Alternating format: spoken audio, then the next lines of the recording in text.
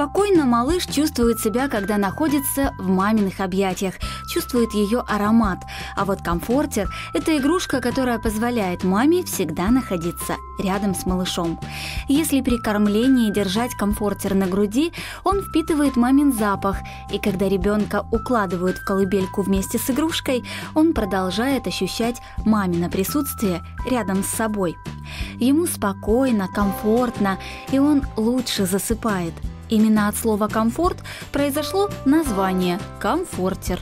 Именно поэтому эти игрушки так популярны во всем мире. В западных странах вообще эта игрушка входит в обязательный набор для новорожденных. То есть вот как у нас пеленки, распашонки, так обязательно покупают вот таких вот комфортеров. У русских же подобная игрушка называется сплюшка. Форма ее немного отличается от комфортера. Причем наполнителем ее, помимо синтепона, может быть лаванда, ромашка и гранулятор, чтобы ребенок не только хорошо спал, но и играя с такой игрушкой, у него развивались тактильные ощущения но будьте аккуратны с травами. Их смело можно использовать только после консультации с врачом. Сделать комфортер или сплюшку своими руками несложно, тем более, что в процессе мама вкладывает в нее свою энергетику.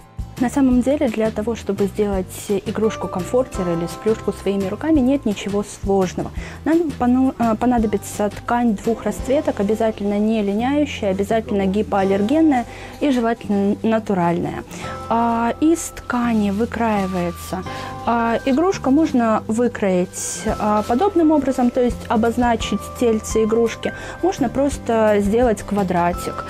Из ткани отдельно выкраивается головка, в том, чтобы ее сшить, нет ничего сложного.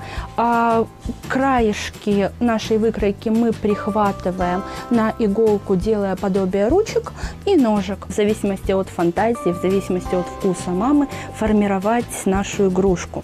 А, но очень важный момент э, – это все-таки сделать ее больше похожей на настоящую игрушку, то есть сделать мордочку, ушки, ротик, носик, а, так, чтобы ребенку все равно было приятнее с ней играть.